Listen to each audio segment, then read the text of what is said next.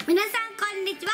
ライちゃん、ママチャンネルです。今日はドラゴンボールヒーローズのカードを購入し購入品を紹介します、はい。イエーイ。はい、えー、カードを、えー、Amazon で購入したんですよね。はい。それで、えー、もうずっと置き去りになってたのではい。開けなかったんですよね。はい。でこれだけ開けたんです。はいでもう早速出しちゃいましょう、えー、何を買ったかすら覚えてないです。いいですか？な何が出てくるんだわからない。はいじゃあ一つ目です。えー、何を買っ買ったかというとソルベです。はいソルベです。ソーセージ。うんソーセージ。これですねソルベですねはい。かっこソーセージ。うん。えー、今回多分紹介するのはなんで買ったかもわかんない意味不明のです。えー、特にソルベにソルベが好きってわけじゃないんだけど安かったんで買っちゃいました。ただ買っただけ、えーとねソルベソルベ300円。360円。マジかよ360円です。はいソルベ、はい。なんで買ったのかはまわかりません、はい。ソルベです。はい。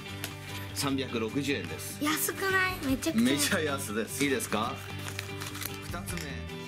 2つ目2つ目。喧嘩するなって。クマ貸しては。い。2つ目です。どうちゃんもみんな 本当に何買ったか忘れちゃった。どうちゃんだって知らない。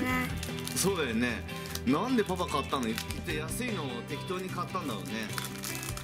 ソルベはただ欲しかっただけでしょ。うんだと思うんだけどでも300あああ出てきた。はあここで出てきた。いはいはい。これです。ななこれ買ったっけ？買った覚えもない。あと何買ったっけ？ちょっと待ってこうやって買った覚えがあるようなないようなです。はい。えー、っとまあいいや。必要があるとも思えないんだけどまあ買っちゃいました。すいません。なんか変なの。えー、っといくらだろう？知らない。えー、っとねちょっと待ってね。301えー、っと518円で 500? す518円。はい。えー、さ360円。516円？なんだ？忘れた510何円。16円。500, 500円ぐらい。はい。次です。安くない。まマジかこんな安かったのか。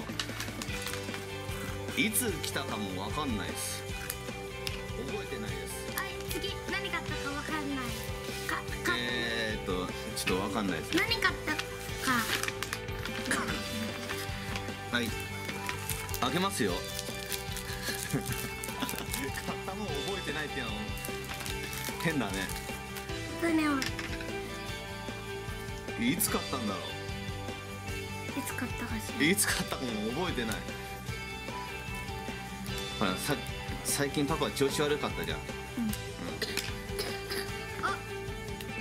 はいはいはいはいはい。